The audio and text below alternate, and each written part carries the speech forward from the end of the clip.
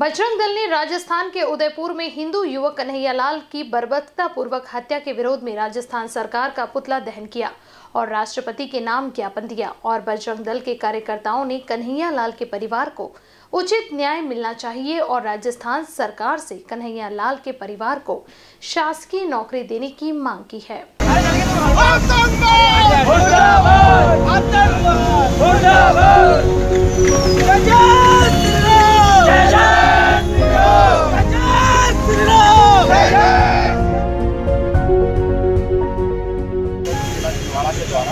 महामहिम महोदय के नाम पे ज्ञापन सौंपा गया है राजस्थान में जो कन्हैया की हत्या हुई है उसके विरोध में जो उनके प्यारे हैं उनको मतलब की सज़ा है। फांसी की सज़ा मांग की है उनके परिवार को आर्थिक सहायता की मांग के लिए महामहिम राष्ट्रपति को ज्ञापन राष्ट्रपति जी महोदय के नाम ज्ञापन सौंपा गया है और यहाँ आतंकवाद का दहन किया गया है जिस प्रकार से विगत दिनों राजस्थान में कन्हैयालाल की नसल हत्या की गई थी।